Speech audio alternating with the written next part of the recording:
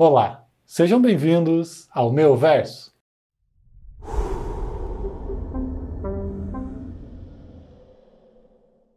Hoje o vídeo vai ser um pouquinho diferente, eu não vou fazer análise de nenhum produto.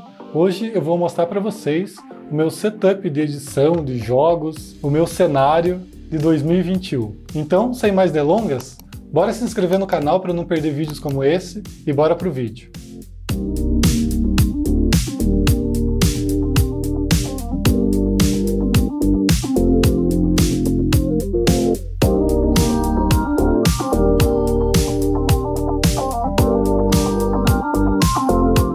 E eu já queria falar para vocês que todos os nomes dos produtos vão estar aqui na edição e também na descrição do vídeo. E questão de valores vai aparecer aqui na edição também, porque eu não sei eles de cabeça e alguns nomes eu também não sei. E algum desses itens já tem vídeo aqui no canal, então é só clicar no card que vai ficar aparecendo na tela e também vai ter link na descrição desse vídeo. E os produtos que ainda não tiverem vídeo no canal, pode ter certeza que está muito próximo de sair. Então já se inscreve para não perder esses vídeos. Eu já queria começar falando de um monitor que eu adoro, é o monitor da Acer, 144 Hz, que eu uso muito para jogar e para editar. Ele é excelente para o meu dia a dia.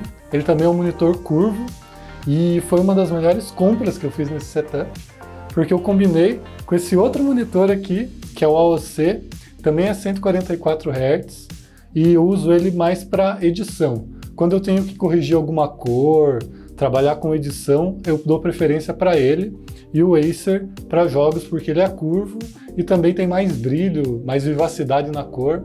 Então eu acabo deixando ele como meu monitor principal e esse aqui como meu monitor secundário, que é o AOC. O Acer e o AOC já tem vídeo aqui no canal falando tudo sobre ele, me aprofundando bastante então, se vocês quiserem ver, é só clicar aqui no card. E a segunda coisa que eu queria dizer por aqui, além dos monitores, é que quando eu fiz uma compra, eu fiz um kit mais ou menos da HyperX. Eu comprei teclado, mouse, mousepad e headset. Eu queria começar falando do teclado, que é o Alloy Origins RGB. E RGB porque com certeza RGB traz mais FPS, né? Então foi uma compra excelente, ainda mais que eu fiz esse conjunto inteiro.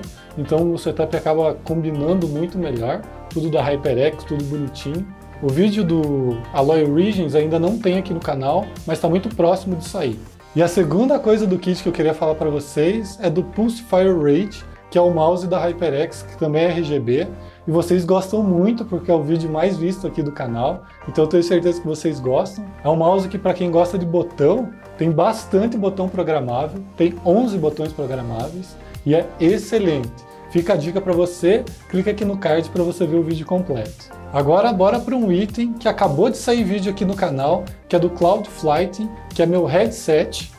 Esse headset aqui tem muita qualidade, ele realmente me surpreendeu pelo conforto que ele traz e a qualidade. O microfone não é tão bom assim, vocês podem clicar aqui no card e ver todo o review completo e tirar em suas próprias conclusões. E para finalizar esse conjunto da HyperX, nada melhor do que um mousepad gigantesco da HyperX, que também já tem vídeo aqui no canal, e ele é gigante, cabe tudo que eu quero, cabe HD, cabe mouse, cabe meu teclado, cabe minha câmera que eu deixo ela ali.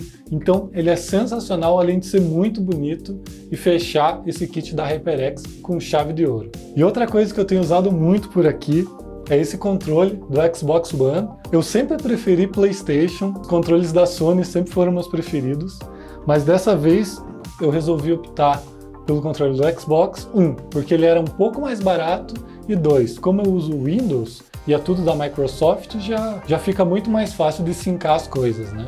E quando eu estava montando esse setup aqui, eu pensei muito em trocar minhas caixinhas de som da Edifier por outras caixinhas de som também da Edifier. Daí eu acabei pensando melhor e decidi ficar com elas porque elas já têm uma boa qualidade e realmente não ia valer a pena o investimento vou deixar para fazer isso mais para frente. Eu gosto muito delas, eu uso para elas para editar, também uso headset para editar. É bom você ter duas vias de áudio para você ter certeza da edição que você está fazendo. E eu realmente gosto muito delas, porque os graves não são estourados, então fica muito tranquilo o resultado, fica muito parecido com a edição.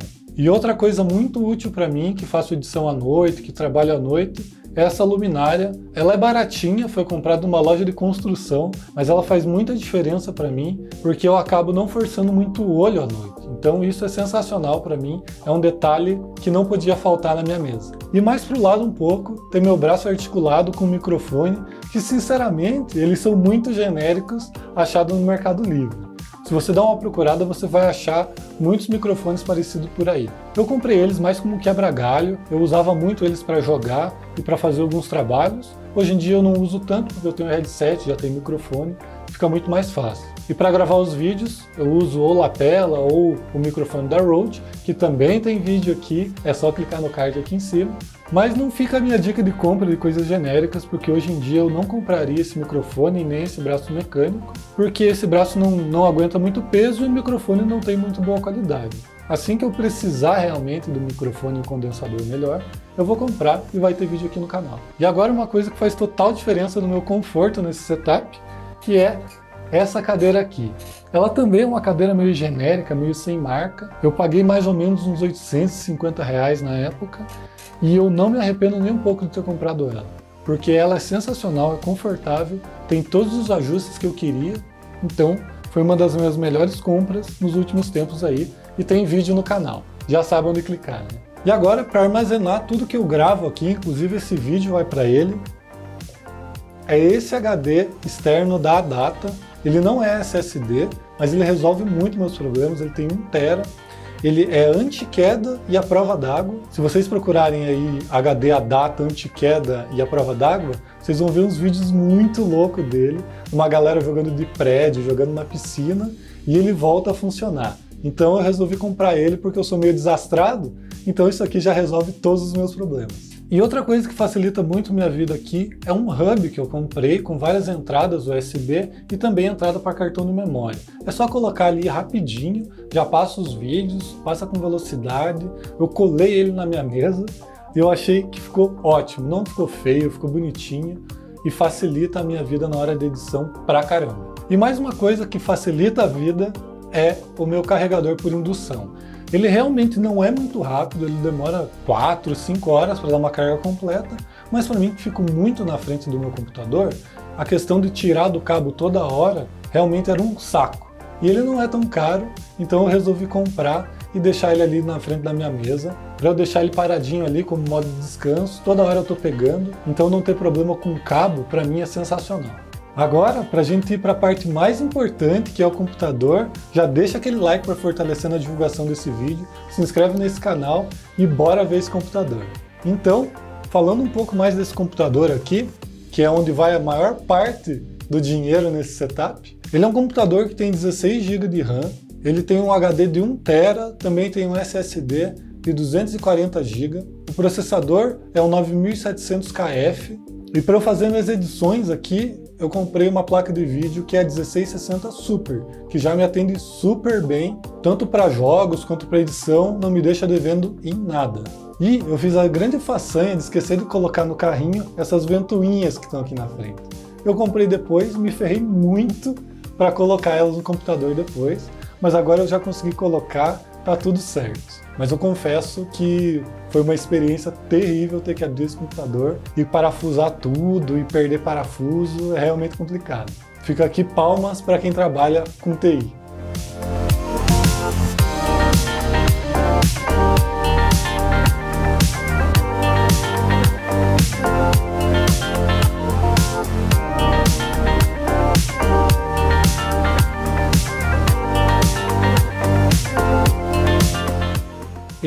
É o meu setup para 2021. Se eu trocar alguma coisa para o ano que vem, eu faço outro vídeo para vocês, para mostrar como é que tá meu setup em 2022. Já deixa um like para ajudar na divulgação desse vídeo, se inscreve no canal para não perder nenhum vídeo por aqui. Deixa aí nos comentários o que vocês acharam desse vídeo. Se vocês tiverem alguma dúvida, eu esqueci de colocar alguma coisa na descrição ou na edição, Pode deixar a pergunta aí que eu com certeza vou responder vocês depois. E eu queria dizer para vocês que no fim do vídeo vai aparecer o Instagram da Melverso. A gente posta muito conteúdo diferente por lá.